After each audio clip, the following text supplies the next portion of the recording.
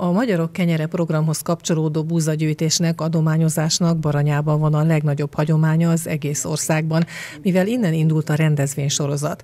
Itt van egy olyan törzsadományozó csapat, akikre minden évben számítani lehet, mondta az ünnepsége Ritlinger József, a NAG Baranya vármegyei szervezetének elnöke. Mindig bármi történik, ők akkor is föl fognak ajánlani. Volt már olyan, hogy például valakinek családi tragédiája volt sajnos, és hát mondtam neki, hogy ha nem tudsz adni, nem baj, azt mondta, nem Józsi, ezt én ide szántam, és minden évben is ide szállom, ameddig én vagyok, addig az ide fog kerülni. És ezt meg is köszöntem neki.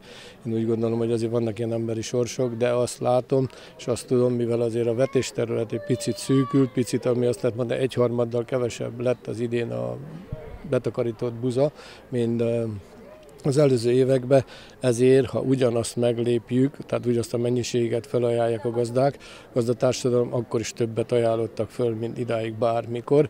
Én úgy gondolom, ez a 45-50 tonnát, azt a két kamiontétet biztos, hogy meg fogjuk tudni lépni, meg fogjuk tudni ugorni. Ritlinger József azt is látja a búzagyűjtő napon, amit ő már inkább adományozó családi napnak nevezne, mert itt most inkább megbeszélik a dolgaikat, visszatekintenek az elmúlt fél évre, megbeszélik az aratás nehézségeit, az árak alakulását, teszi hozzá az elnök. Itt is azt látom, hogy egyre többen jönnek, egyre többen jönnek családostól, kisgyerekestől, és én azért is gondolom, hogy ez egyre szélesebb körnek fog örvendeni, és ezért is merem biztosan mondani, hogy ezek a mennyiségek meg fognak lenni. Már ma reggel kis számvetést bekértük a gyűjtőpontoktól, hogy hogy állunk. Azt látjuk, hogy valahol ugyanannyi van, de két helyen több felajánlás van, mint a tavalyi év ugyanezen időszakán. Azért ez egy mérleg, mert minden évben július utolsó péntekén van ez a buzagyűjtő nap, és az így is marad. Az ünnepségen Őri László, a Baranya vármegyei önkormányzat elnöke elmondta, a Magyarok Kenyere program a Kárpát-medencei Nemzeti Összetartozás egyik legfontosabb szimbólumává nőtte ki magát.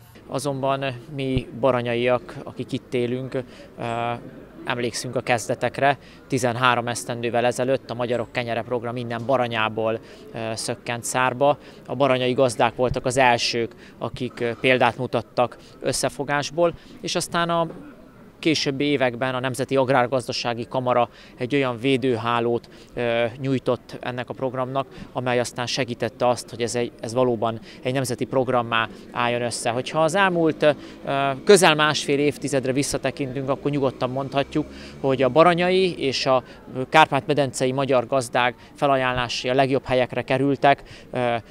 Több éven keresztül a Dévai Szent Ferenc Alapítvány, Böjte Csaba atya gyermekotthonaiba kerültek kenyér formájába az adományok, de más fontos célt is sikerült megvalósítani a program révén. A Magyar Gazdakörök és Gazdaszövetkezetek Szövetsége, a Magyarok Kenyere Alapítvány, a Nemzeti Agrárgazdasági Kamara és a NAK Magyarok Kenyere Nonprofit Közhasznú Kft. együttműködésében szervezték meg a Magyarok Kenyere 15 millió búzaszem program búzagyűjtő napját. A búzaadományokat Sombereken, Vejtiben és Szigetváron lehet leadni a búzagyűjtő helyeken.